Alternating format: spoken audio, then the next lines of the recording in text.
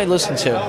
My iPod. I've got. Uh, I have a lot of Portuguese music, bossa nova that I like, and um, um, uh, the Killers. I think was on there, and Radiohead, and uh, um, a couple of other things. But yeah, I, I've, you know, music is. I mean, I, I uh, had LPs when I was growing up, and the first one I ever bought was the Hey Jude album. It's the Beatles' Hey Jude album, and I had that album, and then I, I bought a couple more by the Beatles, and then I uh, I stopped and, and jumped on Yes, and got a bunch of Yes uh, albums. But yeah, music is uh, it's like asking me you know, what's your favorite water or, or air? It's like it's so weird because I, you know, how could it not be part of your life? And yet some people, right? I know. Yeah, I, ha- I have friends who like don't care what they're listening to. I'm like, really? Are you a robot? What's wrong with you? I know. I know. We Yeah, get that answer sometimes, so it blows our mind. Yeah, people are like, I don't, I don't listen to any. It's like, really?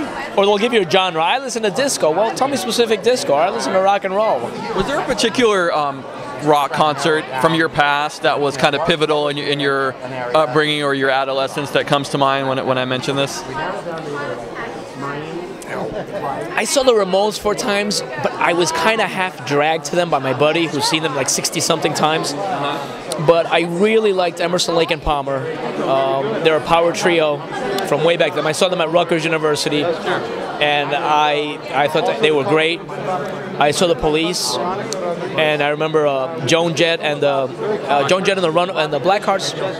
No, the Runaways. It was theaters in August. Was it excited? no Joan Jett and the and the. Show the world the, the real life of it. What's the Blackhearts? I want to say Runaways. Was that before the Blackhearts? Yeah, I think it was the Runaways. Interesting. Okay, I'll have to And then the that. opening band was REM, and no one cared. Everybody was smoking pot and talking and just ignoring them. And they're like, uh, catapults, and no one cared. Little band from Athens. No one cared about REM at all. And, and then Joan Jett came out, and then the police came out Wow, and just tore it up. Yeah.